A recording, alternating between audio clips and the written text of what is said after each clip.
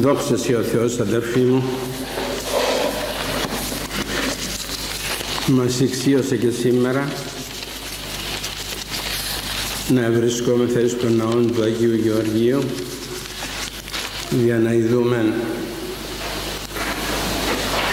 διαπρεσβειώντες υπεραγίας Θεοτόκου και του Αγίου Μεγαλομάρτυρος Γεωργίου του Τροπεοφόρου τι υπάρχει στη ζωή μας και τι πράττωμεν.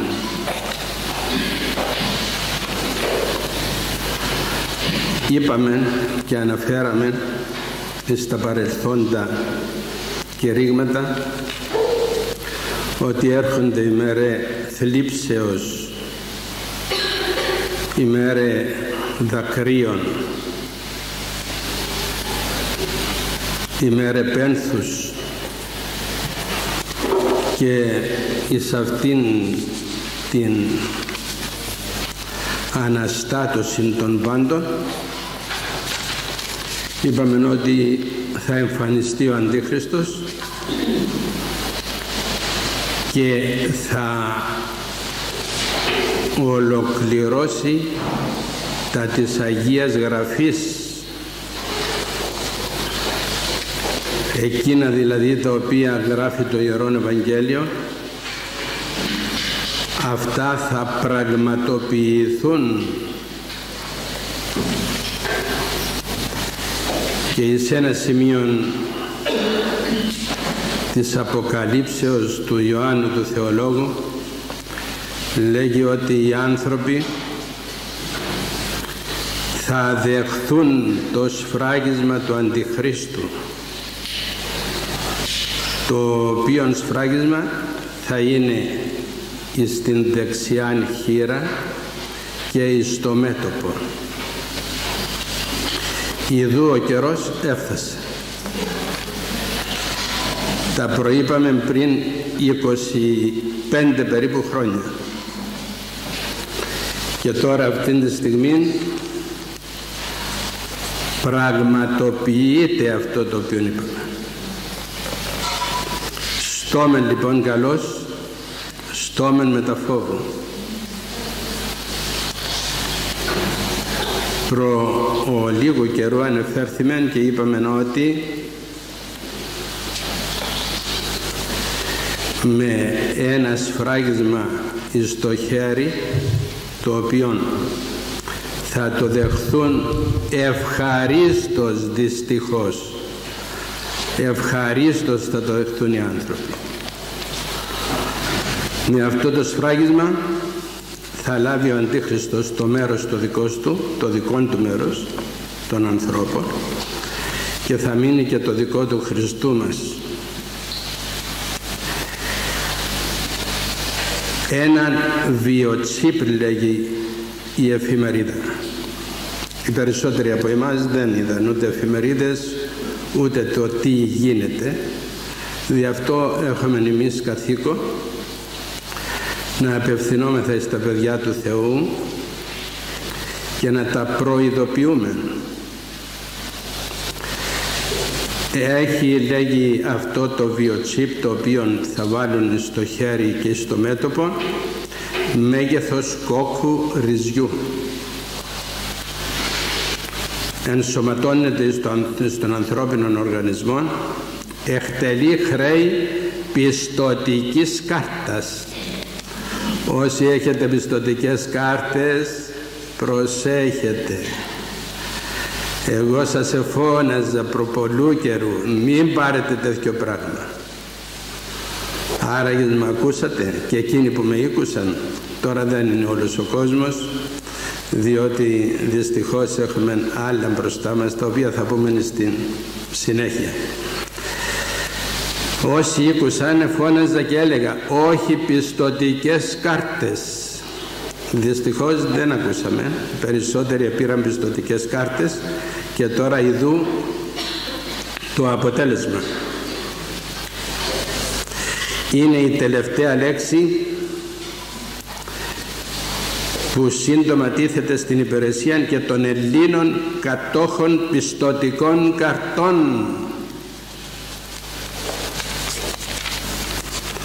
Φοβερό το μήνυμα τούτο αδερφοί μου.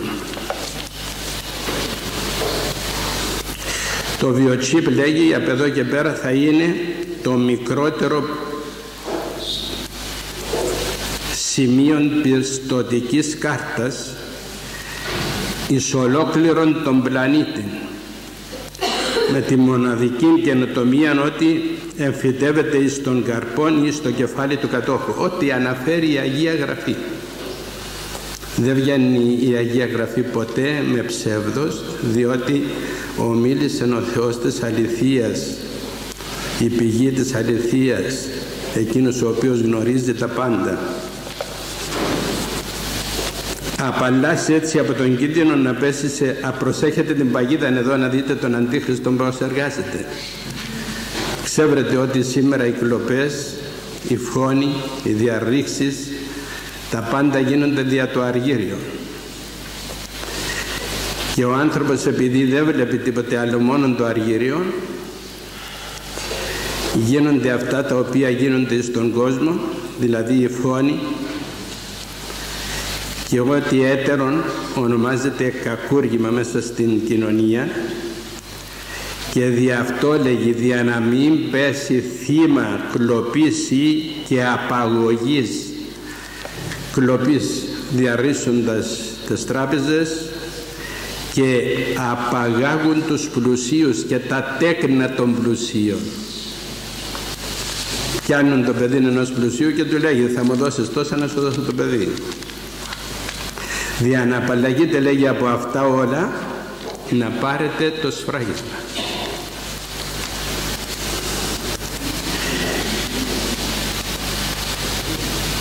Η καινοτομία αυτή λέγει είναι αποτέλεσμα συνεργασίας δύο μεγάλων εταιριών της Motorola με την Montex και ήδη είναι εδόθη ένα δισεκατομμύριο βιοτσίπ και δημιουργήθησαν αυτά το περασμένο έτος δηλαδή το 2003 και έγιναν προσέξτε εδώ ανάρπαστα. Ανάρπαστα.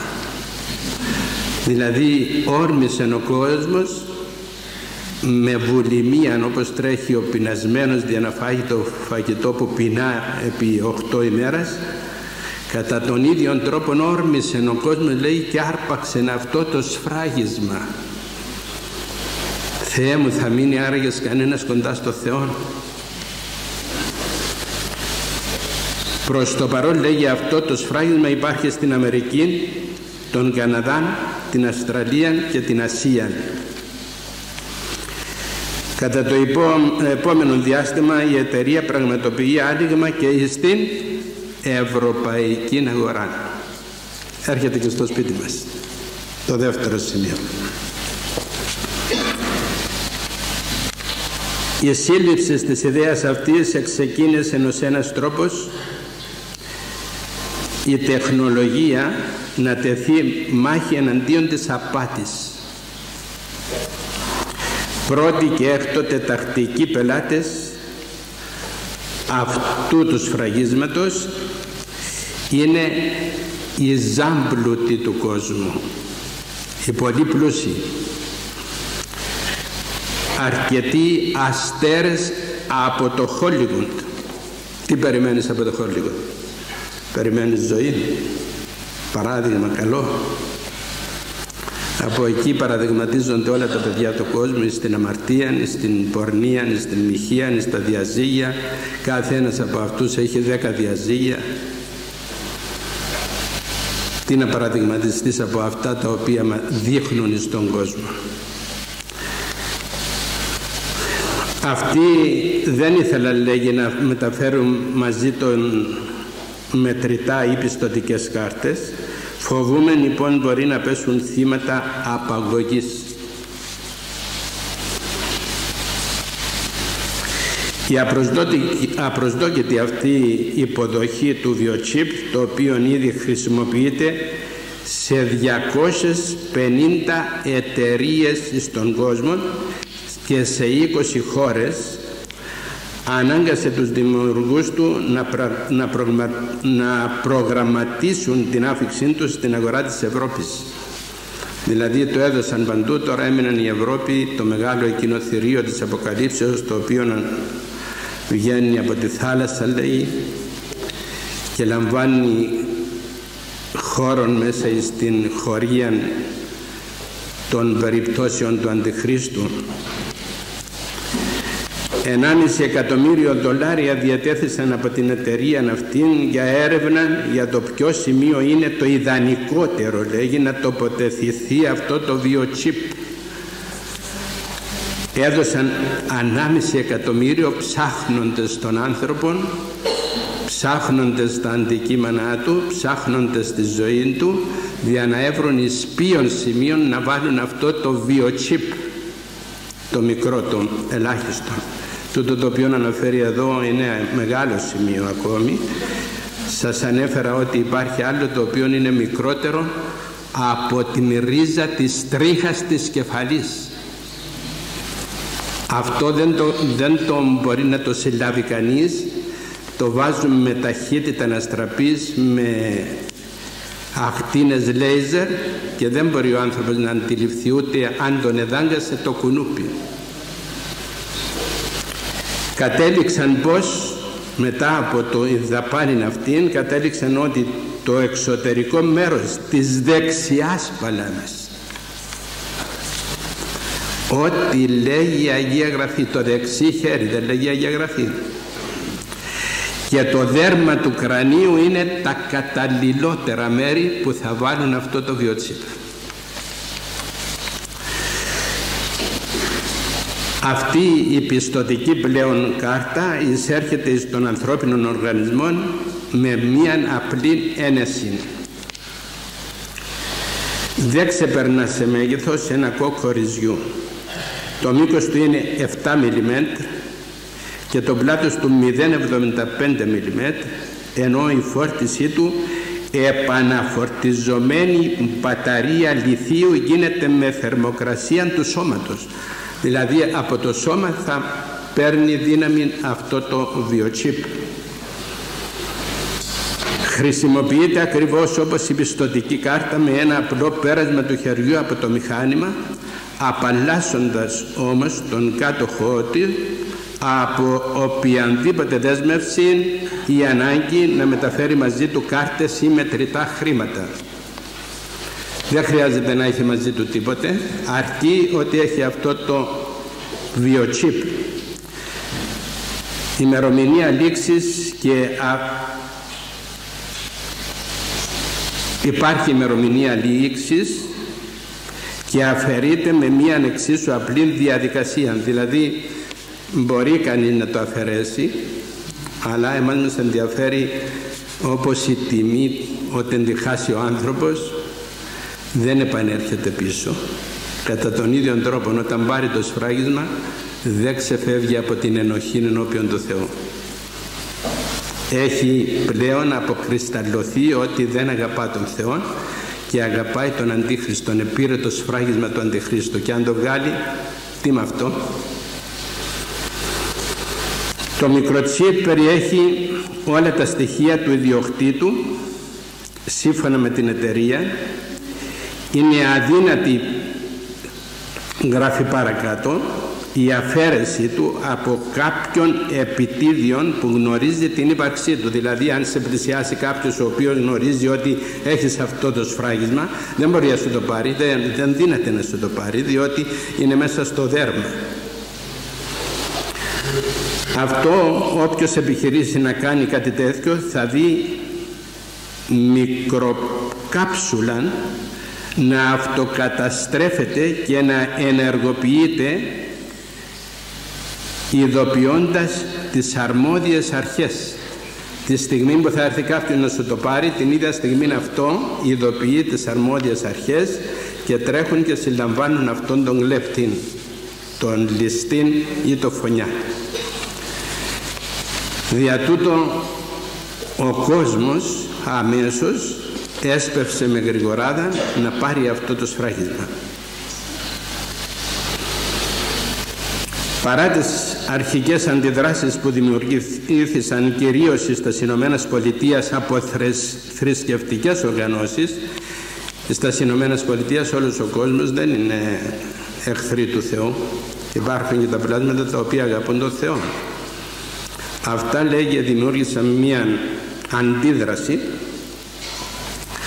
πλην όμως αυτό το ονόμασαν εργαλείο του σατανά του έδωσαν αυτήν την ονομασία επολέμησαν με διαδηλώσεις δια την υποδοχή αυτού του μηχανήματος του διαβόλου και του τεχνολογικού θαύματος χωρίς όμως κανένα αποτέλεσμα.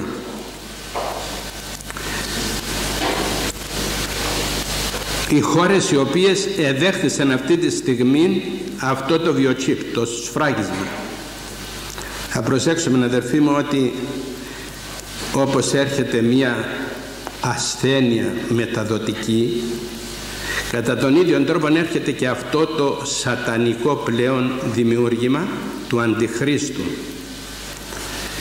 το εδέχθησαν προσέξτε να δείτε πόσες χώρες εδέχθησαν αυτό και πόσος κόσμος έχει σφραγιστεί αυτή τη στιγμή που μιλούμε. Η Αυστραλία ο Καναδάς η Κίνα η Νέα Ζηλανδία η Μεγάλη Βρετανία η Ταϊλάνδη η Βραζιλία το Χονγκόνγκ ο Παναμάς το Ισραήλ είναι μερικές λέγει μόνο από τα χώρες που ήδη το χρησιμοποιούν. Δεν είναι λίγοι οι επιχειρηματίες που έχουν εμφυτεύσει το μικροτσίπ αυτόν στα παιδιά τους προκειμένου να μην μεταφέρουν μαζί τους χρήματα ή κάρτες και έτσι να κινδυνεύουν να πέσουν θύματα ληστείας ή απαγωγής. Πολύ σύντομα το βιοτσίπ αναμένεται και στην Ελλάδα. Στόμεν καλός, στόμεν μεταφόβων. Θα δείτε τους Έλληνες οι οποίοι είναι βαπτισμένοι στο όνομα της Αγίας Τριάδος και να τρέχουν όπως τρέχουν τα αρνιά. Ξεβρετε, ο βοσκός διαναλούσει τα αρνιά το καλοκαίρι, τα βάζει μπροστά από μια δεξαμενή. Εκείνα βλέπουν το νερό δεν μπαίνουν μέσα και πηγαίνει αυτός με τέχνη και σπρώχνει το πρώτο και πέφτει μέσα. Μόλις πέσει το πρώτο πέφτουν όλα τα αρνιά πίσω το ένα από το άλλο και βγαίνουν στην απέναντι άκρα λουσμένα. Κατά τον ίδιο τρόπο θα πάθουν και οι Έλληνες.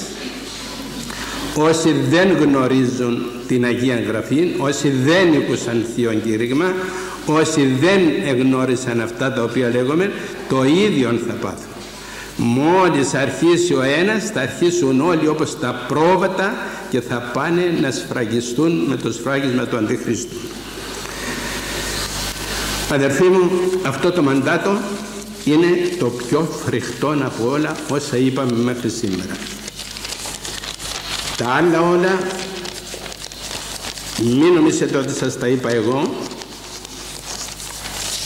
μόνον αλλά ολόκληρες εφημερίδες δημοσίευσαν αυτό το φοβερό άγγελμα. Ξέρετε τι θα πούν οι Έλληνες; Δεν μας ενδιαφέρει για τους άλλους ότι θέλουν να σκάνουν δουλειά δικιά τους. Εμείς όμως που είμαστε χριστιανοί. Δεν βαριέσαι καλή εγώ την ευκολία μου να δω τι είναι αυτά και τι πειράζουν αυτά Έλα όμως που η Αγία Γραφή σου λέγει ότι από τη στιγμή που θα το πάρεις σε τελείωσαν τα πάντα. Θα έρθει η στιγμή που θα φωνάζεις. Στις πέτρες να πέσουν να σε πλακώσουν και όμως να μην πέφτουν. Θα έρθει η στιγμή που θα πηγαίνεις στα μνήματα και να φωνάζεις του νεκρού να σηκωθούν για να μπεις εσύ και δεν θα σηκώνονται. Θα ζητείς τον θάνατο και δεν θα υπάρχει οι δεπόνοι τους οποίους θα υποφέρει λέγει εκείνος ο οποίος θα σφραγιστεί με το σφράγισμα τούτο θα περάσουν όλα τα φαρμάκια των θηρίων των σκορπιών και των φιδιών. Και εκείνη η πόνη θα είναι αθεράπευτη. Διότι μας αγάπησε ο Θεός τόσο πολύ και εμείς δεν τον αγαπήσαμε μας προειδοποίησαν και εμείς δεν τον ακούσαμε μας τα είπε και εμείς τα περιφρονήσαμε. Και το τέλος ήτο να αποθάνει ο Θεός δι' μας δια την πολλή αγάπη την οποία μας έχει. Δια την σωτηρία του ανθρώπου. Ο Υιός του Θεού θυσιάζεται δια την αγάπη την οποία μας έχει και η δύνατο με άλλον τρόπο να μας σώσει και εταπεινώθη και αυτό ονομάζεται άκρα συγκατάβασης η άκρα ταπείνωσης του Θεού. Η δύνατο με άλλον τρόπο ο Θεός μας να μας σώσει με έναν λόγο Του. Πλην όμως εκατέβηκε από τους ουρανούς και τούτο λέγει ονομάζεται άκρα συγκατάβασης εκατέβη δηλαδή ο Θεός από τους ουρανούς για να μας σώσει. Και προτίμησε να αποθάνει με έναν θάνατον που είχε τόση εντροπή πάνω αυτός ο θάνατος διότι τον βλέπουμε γυμνών γεμάτον πληγάς επάνω στον σταυρόν και προτίμησε να αποθάνει με ένα τέτοιο πάθος. Διότι δεν υπήρχε φρικτότερο πάθος. Τότε στην Ρωμαϊκή εκείνη κατάφτιση των Εβραίων από το να σταυρώνουν τους ληστάς. Πάνω στο σταυρόν εκείνος ο οποίος σταυρώνε το εχίνετο το αίμα και ο σταυρός ήταν χαμηλός μέχρι σε ένα σημείο που ορμούσαν τα θηρία εκείνα και κατεσπάραζαν τον άνθρωπο ο οποίος εκρέματο πάνω στο σταυρό διότι εμύριζε το αίμα στα θηρία εκείνα και ορμούσαν τα θηρία και δάγκαναν και εξέσχιζαν τους εσταυρωμένους. Όπως ο Καρχαρίας μυρίζεται το αίμα κατά τον ίδιο τρόπο και τα άλλα θηρία, τα σαρκοβόρα θηρία, αυτά που τρώνε σάρκες, εμυρίζονται το αίμα του εσταυρωμένου και ορμούσαν και όπως ήταν κρεμαμένος και καρφωμένος πάνω στο ξύλο, τον εξέσχιζαν με τα δόντια τους και με τα νύχια τους και απέθνησε με τέτοιων φοβερών θάνατων. Τούτο βέβαια ο Πανάγαθος Θεός δεν το επέτρεψε διότι είναι το άλλο το σχέδιό του. Εδύνατο να αποθάνει με έναν απλούν θάνατον ο Θεός χωρίς να έχει αυτή την εντροπή πάνω του ότι είναι το πλάνος και κακούργος. Έτσι τον ονόμασαν οι εχθροί του. Αυτός σε πλανούσε λέγει τον κόσμο και δι' αυτό πρέπει να αποθάνει με αυτόν τον θάνατον. Αυτό είναι μία άκρα υπομονή του Θεού. Το να πάσχει επάνω στον Σταυρό ο Θεός δεν είναι το τίποτε άλλο παρά μια υπομονή απέραντη. Αυτήν την υπομονή μας καλεί ο Θεός μας και εμάς στον παρόντα κόσμο να έχουμε στα θλίψεις, στους διωγμούς, στα συκοφαντίας, στα αδικίας, στον φθόνο, μας καλεί να έχουμε την ιδία υπομονή είναι αυτός ο οποίος υπέμεινε τη μεγαλύτερα υπομονή είναι πάνω στο σταυρό. Γιατί όμως έδειξε αυτήν την άκρα συγκατάβαση ο Θεός. Γιατί επήρε αυτήν την απέραντον υπομονή ο Θεός. Όλα τα έλαβεν δι' εμάς τους αμαρτωλούς ανθρώπους που είμαι θα οι χειρότεροι του εχθροί και αυτή είναι η άκρα αγάπη του Θεού. Θα το δούμε εν τόσο λίγων ημερών μπροστά μας. Και όσοι πονέσουν και όσοι ζήσουν θα κλάψουν δι' αυτό το κατάντημα το οποίο υπέστη ο Θεός μας δια την πολύ του αγάπη την οποία έχει εις αυτά στα ημέρας παίζεται ένα έργο το οποίο παριστάνει την Σταύρωση του Χριστού μας, την καταδίκη του Χριστού μας, τον θάνατο του Χριστού μας και εκείνοι οι οποίοι ακολούθησαν δι' αυτό το πράγμα δεν ήσαν οι χριστιανοί ήσαν οι εχθροί του που τον εσταύρωσαν οι Εβραίοι. Διαμαρτυρήθησαν, ευχόναξαν εμείς δεν είμαι θα λέγει οι ίδιοι που εσταυρώσαμε αυτόν λέγει που λέγεται Θεός. Ήσαν άλλοι αλλά οι άλλοι δυστυχώς οι άλλοι όταν τους είπε ο Πιλάτος ότι είμαι αθώος από το αίμα του δικαίου τούτου απήντησα με μια φωνή. Το αίμα αυτού εφημάς και επί τα τέπνα ημών. Τραβούν αυτό το αίμα του Χριστού μέχρι σήμερα διότι έλαβαν την κατάραν μόνοι τους εκαταράστησαν μόνοι τους τον εαυτό τους. Το αίμα αυτού εφημάς και επί τα τέκνα ημών. Ο Χριστός ο οποίος έπαθε δημάς όταν υπέστη των σταυρικών θάνατων δεν τον εγνωρίζαμε εμείς ελατρεύαμε τα είδωλα. Και μέχρι σήμερα αδερφοί με αυτή τη στιγμή που μιλούμε τι έχουμε να ανταποδώσουμε στον Θεό εν ώρα κρίσεως όταν Εκείνος μας έταξε και μας είπε εστε το φως του κόσμου. Εσείς θα φωτίσετε τον κόσμο και εμείς πιστοί στην ειδωλολατρία για να αναπαραστήσουμε τάχατες εκείνη την ειδωλολατρική εποχή υψώσαμε τα χέρια εις τους ουρανούς και παρακαλούσαμε τον Απόλλωνα να μας δώσει φωτιά. Δώσε μας ο Απόλλων δώσε μας τη φωτιά να φωτίσουμε τον κόσμο δεν είναι αυτό το φως που έδωσε ο Θεός. Είναι το φως του Ευαγγελίου. Και αν αυτήν την μετέτρεπαν στην τήρηση το Λόγο του Θεού θα εδοξάζεται ο Θεός σε όλη την οικουμένη. Πλην όμως πιστοί στην ειδωλολατρία μεταφέρομαι τα λόγια εκείνα τα οποία οι ειδωλολάτρες επίστευαν και τώρα λέγει αυτό το τελετουργικό λέει θα τελεστεί τελετουργικό τελετουργία είναι η Θεία, θεία ιερά και ανέμακτος θυσία του Θεού την οποία τηρεί η Εκκλησία μας. Αυτό είναι το τελετουργικό μέρος της λατρείας του Θεού.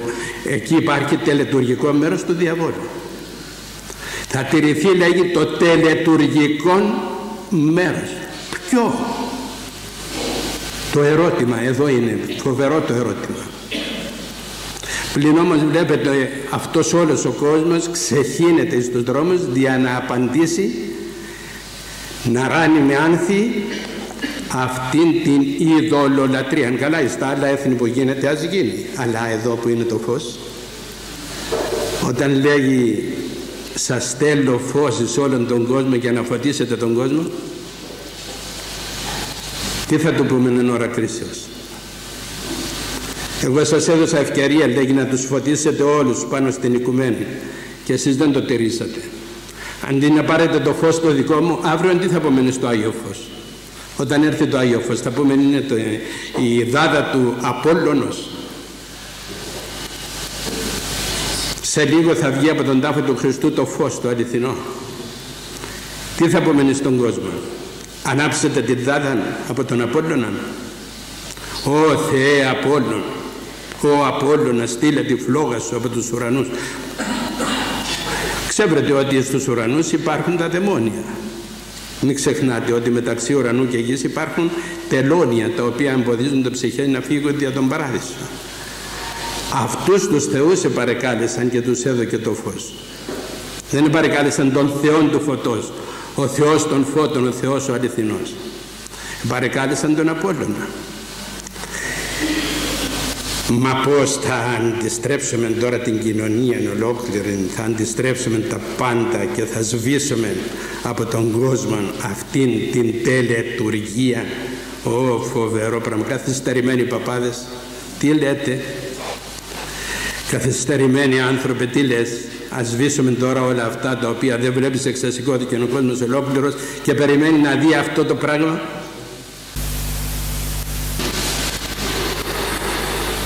Είναι θα βυθισμένοι σπάσαν κακίαν και δια τούτο είμαι θα λέγει η φωνή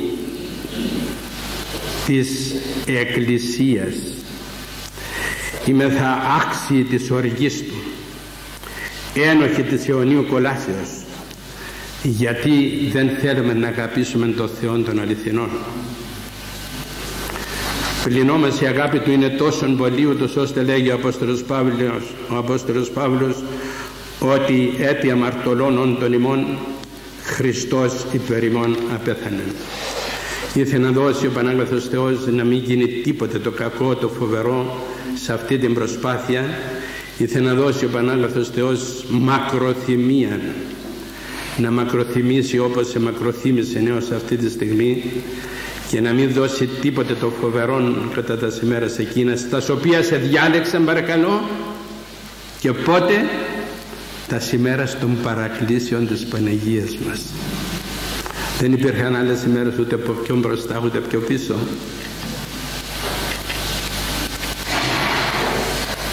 Δύο μέρες προ της ταφής της Παναγίας μας του θανάτου της Παναγίας μας αρχίζουν αυτοί να κάνουν τους αγώνες. Να αποθάνει ένας πατέρας για το παιδί του ή να αποθάνει ένα παιδί για τον πατέρα του ή ένας συγγενής για το συγγενή του αυτό είναι ένα πράγμα φυσικό. Το ζητεί η φύση του ανθρώπου το αίμα το οποίο θυσιάζεται ο ένας δια τον άλλον. Όταν υπάρχουν ασθενείς αδερφοί μου γινόμεθα θυσία να τους δώσουμε το αίμα μας. Αυτό είναι κάτι συγκινητικό. Τούτο γίνεται στους ανθρώπους και το γνωρίζουμε όλοι μας. Να αποθάνει ο φίλος δια των φίλων είναι ένα πράγμα που το επιζητεί η φιλία του ανθρώπου. Είναι ένα σημάδι μιας αγάπης μεγάλης ο φίλος δια των φίλων μία αγάπη δεν βρίσκεται πουθενά. Και το λέγει ο ίδιος ο Χριστός. Μίζωνα ταύτης αγάπη νου δεις δυνατέ έχει. Ή να της την ψυχή να αυτουθεί υπέρ των φίλων αυτού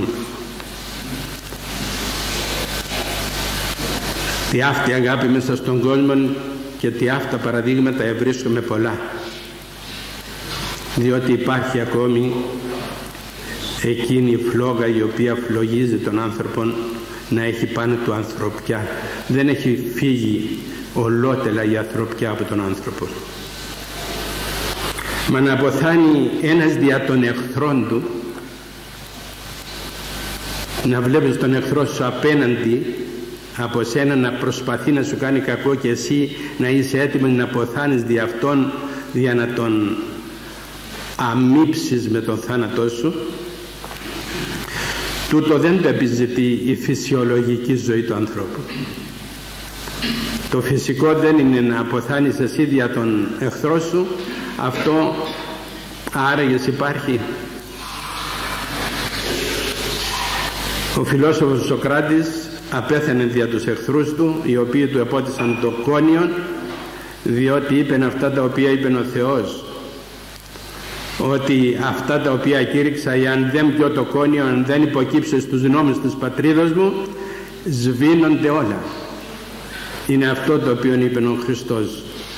Εάν δεν γίνω θυσία όσα είπα δεν θα σπαρούν λέγει και δεν θα βλαστήσουν Γι' αυτό οι φιλόσοφοι αυτοί ονομάζονται χριστιανοί προ Χριστού έφτασαν στο τέρμα για να ειδούν το φως του αληθινών πλην όμως δεν μπόρεσαν να διαπεράσουν ένα αραχνοήφαντο ύφασμα το οποίο χώριζε την ιδωλολατρία από, το, από τον Θεό των αληθινών.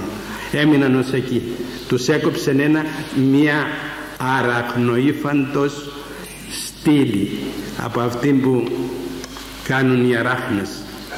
Ως εκεί σταμάτησα. Είπαν όμως πολύ πολύ καλές λέξεις και σκέψεις τας οποίας σε βρίσκομαι στο Ευαγγέλιο. Ότι αν θέλει να σου κάνουν οι άλλοι να το κάνεις και εσύ. Αυτό είπαν οι αρχαίοι φιλόσοφοι. Αυτό είπε ο Χριστός. Ότι θέλεις να κάνεις στους άλλους κάνε το εσύ. Ότι αν θέλετε να ποιώσουν μείνει άνθρωποι ποιείτε και εσείς αυτής ομοίως αυτά τα είπαν προ Χριστού όμως αυτοί οι ευσεβείς φιλόσοφοι. Τούτο ανάμεσα στους ανθρώπους ακόμη δεν έγινε. Το παράδειγμα δεν ακούστε ποτέ να ποθάνει ένας για να σώσει τον εχθρόν του. Γίνεται όμως και ακούεται μέσα στην πίστη των χριστιανών η οποία είναι μοναδική στον κόσμο που δεν υπάρχει άλλη τέτοια πίστη διότι ο Θεός απέθανε δι' εμάς τους εχθρούς Του. Τον έχουμε εχθρόν τον Θεό δεν θέλουμε να αναφέρουμε το όνομά Του. Ο Απόστολος Παύλος το τονίζει όταν λέγει ότι Χριστός υπερημών απέθανε. Αυτή είναι μια ευεργεσία την οποία δεν δίνεται ο άνθρωπος ποτέ να την ξεπληρώσει. Δεν δινήθημε ούτε θα δυνηθούμε ποτέ να ευχαριστήσουμε έναν Θεό ο οποίος εθυσιάστε δι' εμάς τους εχθρούς Του. Αν ίσως κανένας είχε από εμάς εκατόν ζωάς δηλαδή να πεθάνει και να αναστηθεί εκατόν φορές και να ζήσει εκατόν φορές αφού πεθάνει εκατόν φορές δια την αγάπη του Χριστού εάν έδιδεν αυτήν όλη του την ύπαρξη θα το κάτι το οποίο δεν φτάνει αυτό το οποίο έκανε ο Θεός που απέθανε δι' μας. αν ίσως και ζούσαμε χίλιους χρόνους πάνω σε αυτόν τον κόσμο και δια την αγάπη του Χριστού ευαστάζαμε όλους αυτούς τους χιλίους χρόνους ένας σταυρόν δεν είναι το δυνατόν ποτέ να φτάσουμε την αγάπη την οποία έδειξε ο Θεός δι' μας. Τέλος πάντων, ας κοιτάξουμε αυτά τα οποία ήθελαμε να πάθουμε εάν ο Χριστός δεν μας ευεργετούσε και δεν έπαθεν δι' μας τους εχθρούς του.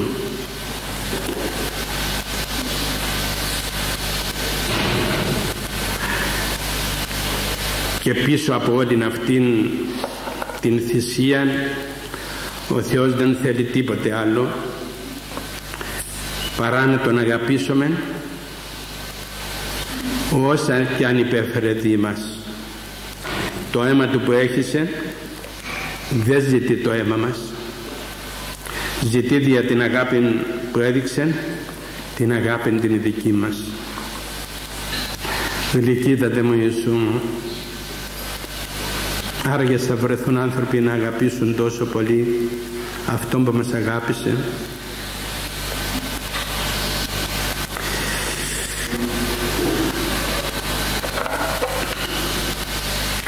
Τούτο μπορεί να ζητεί ο Θεός από εμάς που μας ευεργέτησε.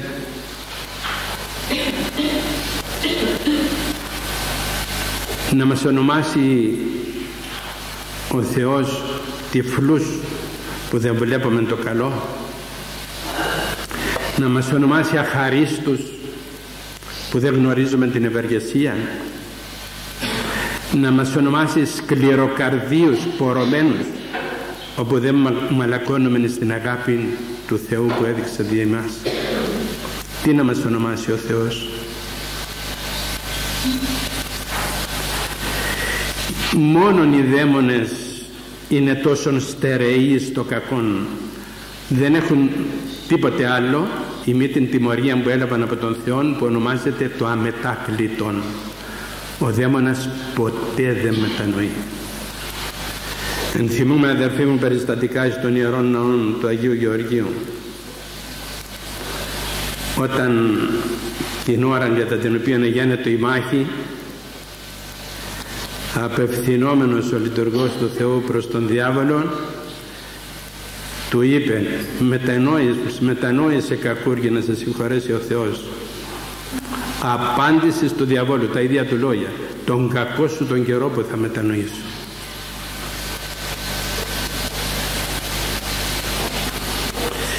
να μας πει λοιπόν ο Θεός ότι είμαι θα τόσο σκληρή όπως ο δαίμονας; Μας αξίζει.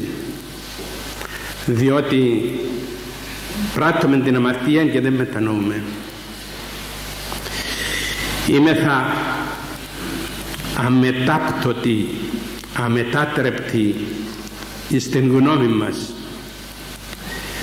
Είμαι θα αιώνιοι εχθροί του Θεού και ποτέ δεν γινόμεθα φίλοι Του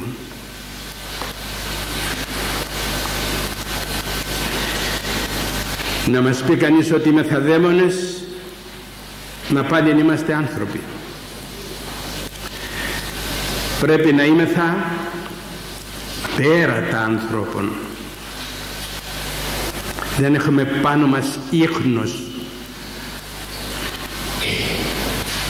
από την αγάπη την οποία ζητεί ο Θεός. Έχουμε μια γνώμη δαιμονική όχι ανθρωπίνη.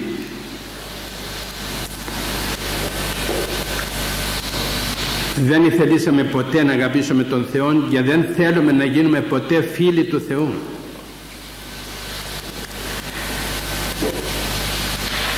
Εκείνος ας έγινε άνθρωπος ας έπαθεν δι' μας ας εσταυρώθη επάνω στο σταυρό ας απέθανε επάνω στο σταυρό ας έχισε το αίμα του διημάς τους αχαρίστους και αγνώμονας.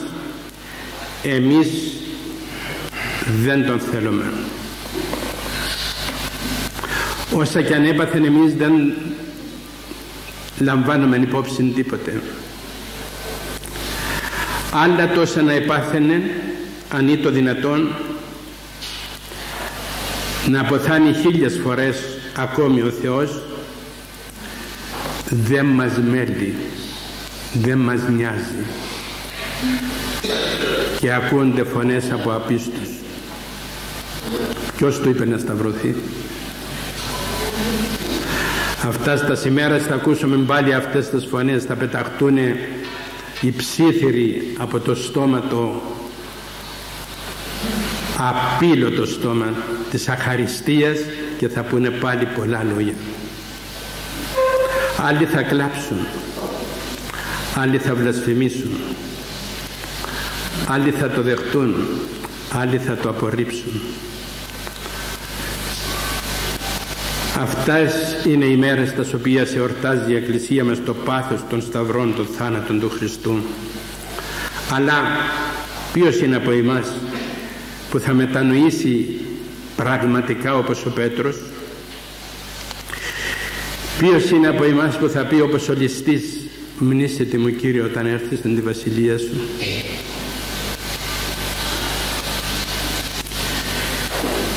Ποιος είναι αυτός ο οποίος δεν θα πωλήσει και πάλι το Χριστόν λόγω των αργυρίων όπως ο Ιούδας με κάθε λογή αμαρτία θα σταυρώσουμε τον Χριστό μας όπως οι Εβραίοι τον εσταύρωσαν. Ποιος είναι αυτός που να μην έχει σκοπό ευθύς μόλις αναστεθεί ο Χριστός να μην τον σταυρώσει και πάλι και να τον βλασφημεί. Ενθυμηθείτε πόσας βλασφημίας λέγει αυτός ο λαός ο οποίος ευεργετήθη από τον Θεό αυτός ο ελληνικός λαός που δεν έπρεπε να ακούεται βλασφημία από, από κανένα στόμα. Και όμως ακούεται βλασφημία εναντίον του Χριστού από τα βρέφη τα οποία είναι 6-7 ετών. Διότι ακούνε τους βλασφήμους γονείς των και τα λέγουν και αυτά το ίδιο.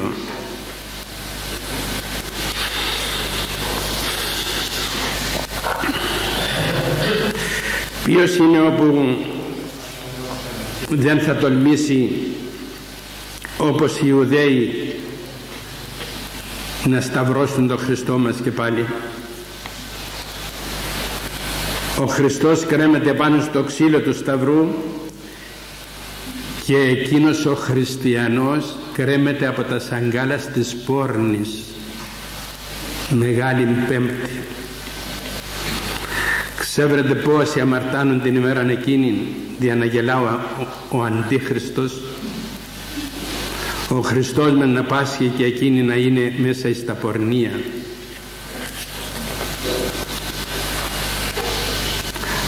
άλλος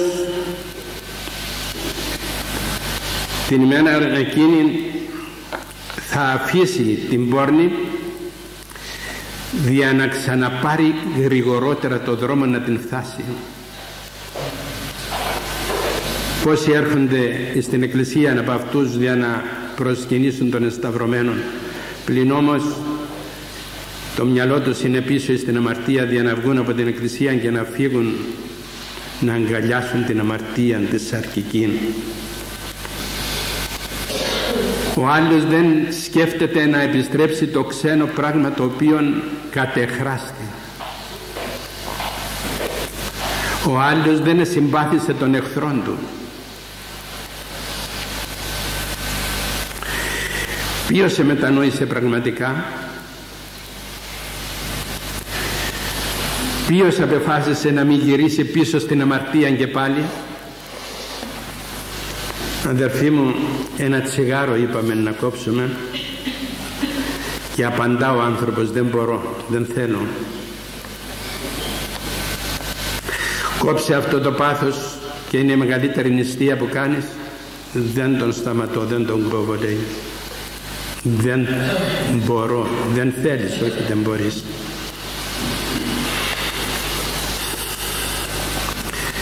Και το πάθος του Χριστού δεν ωφελεί καθόλου.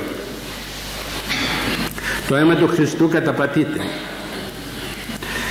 Μα ο Χριστός απέθανε για να κάνει τους εχθρούς του φίλους για να σώσει τους αμαρτωλούς. Αυτοί δεν θέλουν αμετανόητη σκληροκάρδια αμαρτωλή και αν δεν θέλετε διαφύλων των Χριστών έχετε τον δια εχθρών και εγώ θέλω να σας τον δείξω τούτον τον εχθρό σας για να πληρώσετε την επιθυμία σας. Τον έχετε εχθρό για να το δούμε σε μια στιγμή. Χαρείτε παρηγορηθείτε χορτάστε την έχθρα σας. Κοιτάξτε τον άντρες και γυναίκες. Δέτε τον ιερείς και λαϊκοί. Άρχοντες και πένιτες όλοι κοιτάξτε τον. Κοιτάξτε αυτόν τον εχθρό σας τον οποίο δεν θέλετε τον θέλετε περισσότερον καταφρονημένον πλέον βασανισμένον από ό,τι τον βλέπετε θέλετε κι άλλο να τον βλέπετε. Έπρεπε να πάθετε τέτοιας λογής πόνους για να πληρώσετε την Θεία Δικαιοσύνη ακόμη κι αν είστε ένοχοι της αιωνίου κολάσεως. Και αυτός έπαθε όλα για να μην πάθετε εσείς τίποτε αυτός έπειρε το χρέος και πλήρωσε το, με το ίδιο του το αίμα. Επήρε τους υπερηφάνους λογισμούς τους οποίους έχουμε μέσα στο μυαλό μας εις τον ακάνθινον Στέφανον επήρε τας βλασφημίας σας εις την γεύση της σχολής την οποία νύπηκε και το ξύδι το οποίο νύπηκε Επήρε την έχθρασα στο κέντημα της πλευράς. Ακόμη θέλεις κι άλλον να τον βασανίσεις. Επήρε τις αρπαγές στην προσήλωση των χειρών που άνοιξαν πάνω στο σταυρό. Δώσε εκείνα τα ξένα μη τα κρατάς. Επήρε τα σαρκικά αμαρτίας επάνω στα πληγάς και στα μαστιγώσεις τα οποία υπέστη εχόρτασε στην αμαρτία. Αυτά τα επήρε ο Χριστός μας. Επήραν όλο το βάρος της αμαρτίας μας επάνω στο ξύλο του Σταυρού. Επήρε τις αμαρτία μας πλην όμως δεν εκέρδισαν ακόμη τους αμαρτωλούς. Όλα τα υπέστη πλην όμως η αμαρτωλή επιμένουμε να μείνουμε στην αμαρτία. Το συναγάπη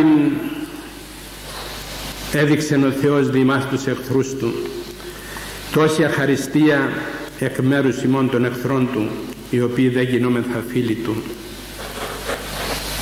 Αμετανόητοι σκληροκάρδιοι με διαβολική μηχανή λαή της Ιαπωνίας. Προσέξτε εδώ να δείτε ένα φοβερό πράγμα το οποίο γίνεται σε αυτήν τη χώρα. Είναι ειδωλολάτρε μέχρι σήμερα. Είναι εχθροί θανάσιμοι του Χριστού και των χριστιανών. Δεν μπορούν να ακούσουν το όνομα. Και στο κατόφλιν της πύλης η οποία φέρει μέσα στην πόλη έσκαψαν επάνω σε ένα μάρμαρο των τίμιων σταυρών. Δίνοντας με αυτόν την είδηση προς τους χριστιανούς τους οποίους δεν θέλουν ούτε να ακούσουν ούτε να ειδούσουν πως αν θέλουν να εισέβουν μέσα στην πόλη τους πρέπει πρώτα να πατήσουν επάνω σε εκείνο το σταυρό και τούτο δεν τολμά την να υπάρχει εις μιαν χώρα τόσο να σεβεί όταν ξέρει ότι πηγαίνει στην Ιαπωνία και θα πατήσει πάνω στο σταυρό για να μπει μέσα στην πόλη λέγει δεν θα πάω ποτέ μου μα εγώ φέρνω μια άλλη εικόνα.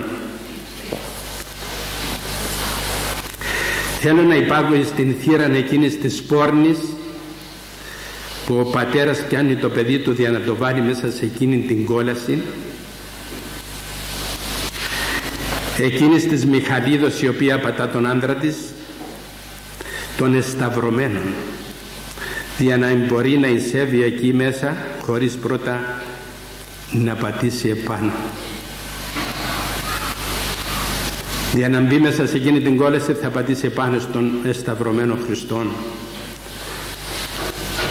πατήστε τον λοιπόν όσο μπορείτε. Κάνετε την αμαρτία όσοι θέλετε ο αδικών αδικησά το έτη και ο αμαρτάνων αμαρτανά το έτη.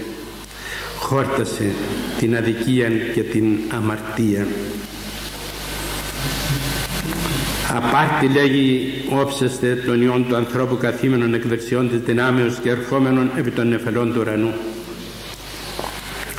Θέλει έρθει καιρός που θα δείτε αυτόν των νεκρών να είναι φοβερός, ζών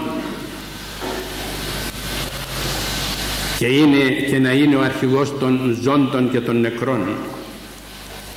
Θα έρθει με τα δυνάμεως πολλής στην Δευτέρα του παρουσία. Αυτά τα μάτια τα οποία είναι πάντοτε κλειστά και αυτά τα χέρια που είναι πάντοτε καρφωμένα θα έρθει καιρός και θα δείτε εκείνα αναμένα με όλα στα σφλόγα της Θείας Οργής.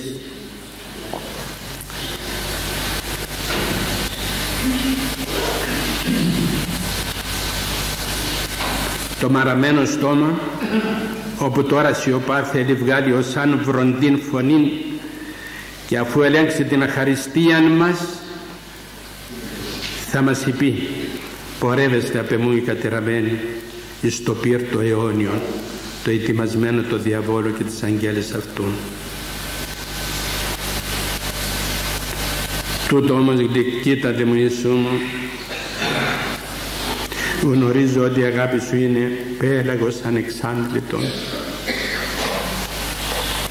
δεν έχει όριο, δεν έχει τέλος η αγάπη σου. Μεγάλη αληθινά είναι η αχαριστία μας ενώπιον του Χριστού μας πλην όμως κράτησε ακόμη ολίγην υπομονή Χριστέ μου με την οποία ανεβάστασε στο σταυρόν σου. Μακροθύμησον και δώσε μας θέλημαν εις εμάς τους χριστιανούς με έναν λόγο να συμπαθήσουμε την αγάπη σου και πες ακόμη μια φορά πατέρα μου άφες αυτής που γαρίδας η τυπιούση. Δώσει συγχώρηση στους ιερείς και τους λαϊκούς. Συγχώρηση εις όλους τους αμαρτωλούς Θεέ μου. Αν ως τώρα εσταθήκαμε εχθροί σου πάλι με την αγάπη σου αξιώσαμε να γίνουμε φίλοι σου. Με αυτήν την ελπίδα ασπαζόμεθα τους αχράντους σου πόδας σε παρακαλούμε όταν κατέβεις από το σταυρό να έρθεις να προσιλωθείς μέσα στην καρδία μας και να είσαι αχώριστος από εμάς και εδώ στην παρούσα ζωή και στην ουράνιο σου βασιλεία. Αμήν. Μείνω με θυμόν Άγιε, μείνω με θυμόν Κύριε, μείνω με θυμόν Δέσποτα ότι προς εσπέρανεστε και κέκλικεν η ημέρα. Αξίωσε μας Κύριε της επουρανίου σου βασιλείας και αξιώσε μας να προσκυνήσουμε τα Άγια σου πάθη και την Αγία σου Ανάσταση. Αμήν.